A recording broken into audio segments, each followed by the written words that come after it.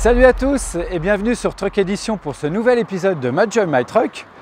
Alors dans le monde du camion, il y a un métier dont on ne parle pas souvent, qui demande pourtant beaucoup d'engagement, voire un certain état d'esprit de sauveteur même. Et quand une panne nous arrive sur la route, eh bien nous sommes euh, très contents de les voir arriver. Alors je veux bien sûr parler du métier de dépanneur remorqueur.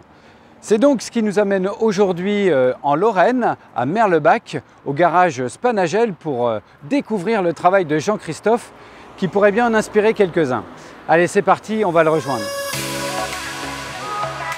Bonjour tout le monde. De temps en temps. Alors, euh, je suis à la recherche de Jean-Christophe. C'est moi. C'est toi Ouais. Salut Jean-Christophe, Vincent. Bah, je vais même dire bonjour à tout le monde. hein. Bonjour messieurs, bonjour. Salut Vincent. Également, bravo. Bon, alors je suppose que là, c'est le débrief un peu de la journée d'hier.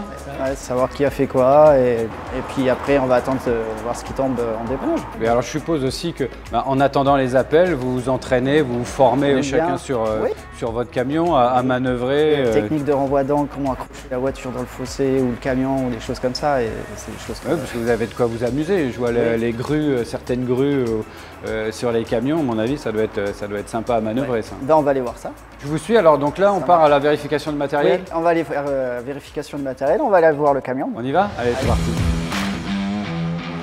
Donc voilà, on arrive. Ah Voilà mon ouais. camion. Il en impose quand même. euh. Donc là, tu as du matériel à vérifier du coup. hein. Les chaînes, les sangles, les câbles, les poulies, les renvois d'angle. Eh ben écoute, euh, si tu es prêt pour la vérif, je le suis aussi. Si Eh ben, on va déjà prendre les gants et puis on va vérifier ça. Allez, Ça viens, marche. on y va. C'est parti Vérifie, euh, vérifie là aussi, moi. Oui, tu Voilà. peux vérifier. Une chose très importante qu'on a be- besoin, ça. Ouais. Ça, c'est les raccords à air pour brancher l'air sur le camion.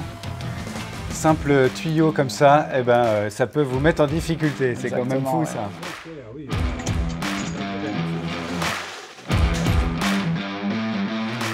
Et donc euh, là, on a, on a fait le tour. Je suppose qu'il faut vérifier tout ce qui est hydraulique.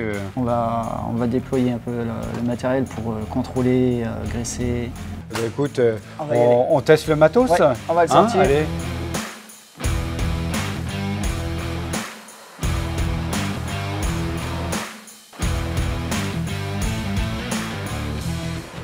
Alors je suppose que on fait peut-être pas ça tous- tous les matins, mais régulièrement. On fait régulièrement, pour, euh, rien que pour enrouler les câbles de treuil, parce que quand tu les sors, ils se renroulent pas forcément bien. Ouais. Et partir ça en avant. c'est perdre du temps aussi sur intervention. C'est hein. une perte de temps sur l'intervention et tu endommages le câble.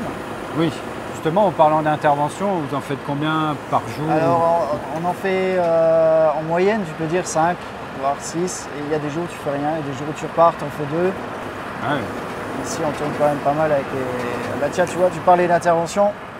Ça commence déjà à sonner, tiens, tu vois. Bah tiens. Allô? Ouais. Ouais, bah, je vais au fax. Ça marche? Je vais voir. Ça roule. À plus. Ok, donc là ça y est, on part en inter là? Ouais, Par rapport là, à un on va vite ranger tout ça et puis on va partir. hein.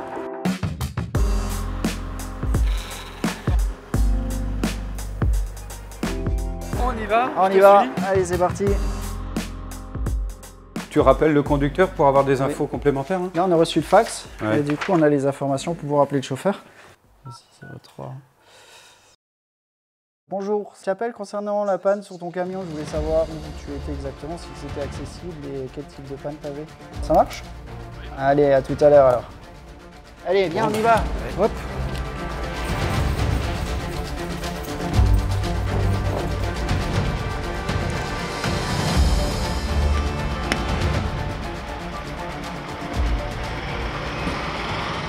Alors combien de temps normalement euh, tu Alors, le délai sur, pour euh, les poids lourds, c'est euh, une heure sur l'autoroute.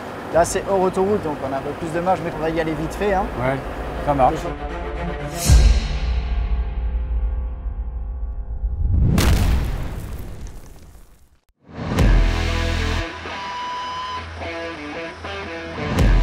Alors du coup, c'est le conducteur, c'est le transporteur ou les secours là qui peuvent vous appeler? Ce coup-ci, c'est le, le transporteur qui a appelé directement.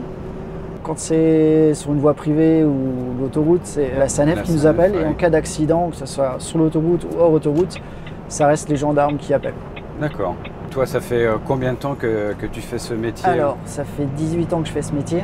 Ça fait 12 ans que je travaille chez euh, Spanagel. D'accord.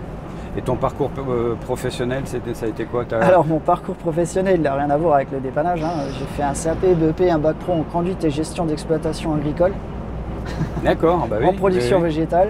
Bah, alors, par contre, tu connaissais un peu la mécanique, je suppose, Ah euh, la dans, mécanique, dans le milieu là. Ouais. Ouais. Pour être dépanneur, remorqueur, notamment de, de poids lourds, il faut quand même euh, maîtriser et connaître euh, un minimum de mécanique. Tout à fait. Donc euh, tout ce qui est euh, problème d'air sur les camions, euh, problème de carburant, filtre à gasoil, tout ce qu'on peut faire sur place, en priorité on fait sur place. Alors pour faire ce métier, bah, bien sûr, il faut des notions en mécanique, vous l'avez compris, mais euh, sachez que le métier est accessible avec le niveau CAP euh, mécanique automobile. Donc ceux qui souhaitent se lancer bah, dans le métier, allez-y. hein. Euh, Jean-Christophe, je suppose qu'un jeune débutant suit une formation et Oui. puis est peut-être accompagné en interne. Tout à fait, ouais. ouais. Vous êtes un binôme dans faut- les premiers temps, quoi. On ne peut pas laisser un jeune commencer sans, sans chaperon et encore moins avec, euh, avec très peu d'expérience. quoi. Ouais, bien sûr.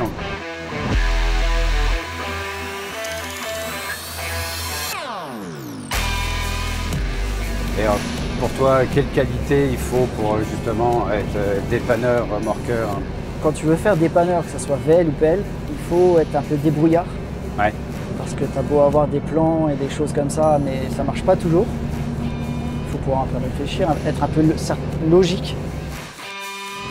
Alors, donc comment ça va se passer? Je suppose que tu vas te mettre devant le camion en panne? Oui, je vais me positionner devant. Ouais.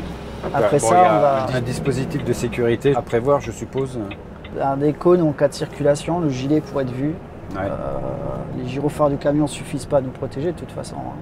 oui, oui, oui, Euh, bien au sûr. moins que le personnel soit visible sur place. C'est ça. On s'équipera co- comme il se doit. Bon, allez, je vais prendre mon gilet, je Gilet, vais les gants, on va m'équiper. voir ce qu'il a et après on Ça marche. Bonjour Maurice, enchanté. Je me suis enlevé du pied, il s'est éteint, il veut plus Ouais, démarrer. rien du tout. Non, non.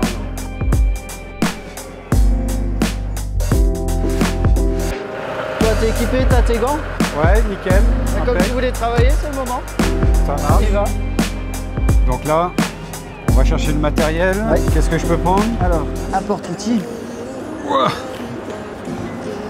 Deuxième. T'as Voilà. une autre main libre, ça va Allez, Allez hop, c'est parti. c'est parti.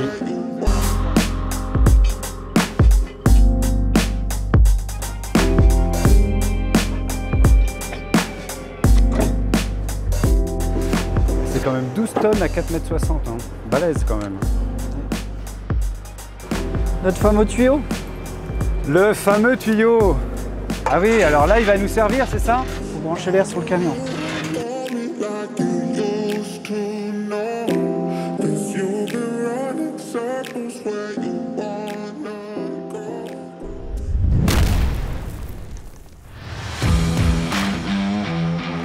Tu conduis un camion, tu on l'a dit t- tout à l'heure, c'est un FH16.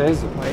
Je suppose que pour toutes tes missions, il te faut quand même un, un camion puissant et relativement Puissant, polyvalent. un ouais. camion lourd. Ouais, Pour treuiller, il faut quand même du poids, euh, un point d'ancrage quand même. Il faut quand même que la machine soit lourde. bah oui, bien sûr. ouais. Il faut du couple et de la maniabilité, du- quand même un minimum de confort. hein. Je veux dire, bon, après, il y a toute option le camion. On a dit de la puissance du couple, mais euh, une boîte de vitesse adaptée, ce genre de choses. Tout à fait. Alors, le camion là, il est équipé d'une boîte ultra crawler. C'est une boîte euh, avec de vitesse Ouais. ultra lente. Il a des réducteurs sur les ponts.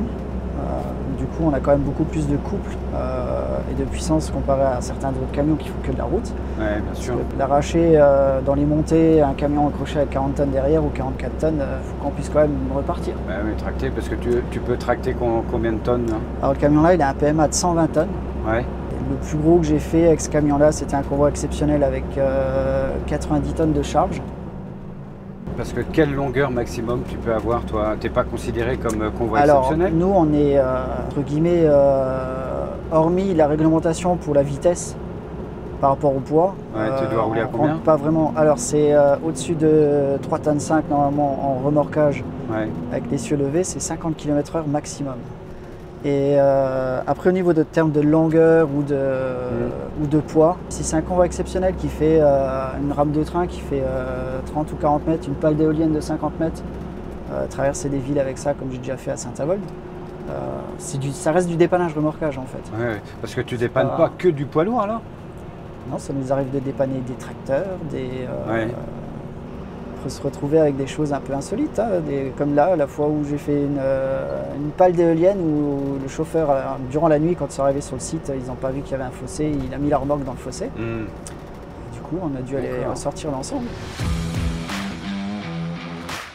Effectivement, vous êtes, comme tu disais, un peu comme les pompiers, vous n'avez pas de carte, ça peut sonner à n'importe quelle heure. Tout à fait. Vous êtes à des astreintes de, de chez toi euh, Oui, aussi, est- donc euh, Alors, on a nos, nos permanences, nos semaines d'astreinte, qui Ouais. commencent le vendredi matin, qui se finit le vendredi d'après.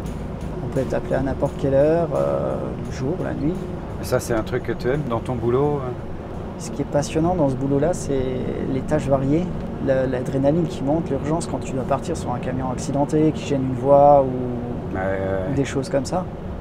C'est un beau métier.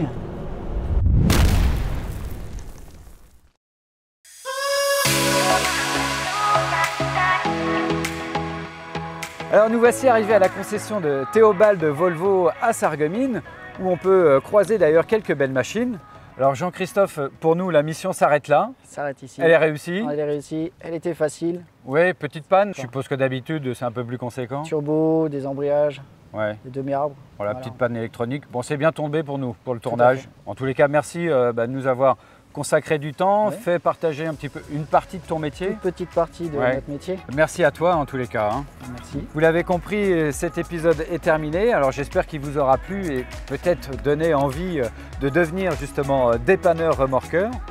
Je vous dis à très bientôt et puis comme d'habitude, prenez soin de vous. Allez, ciao. Merci Jean-Christophe.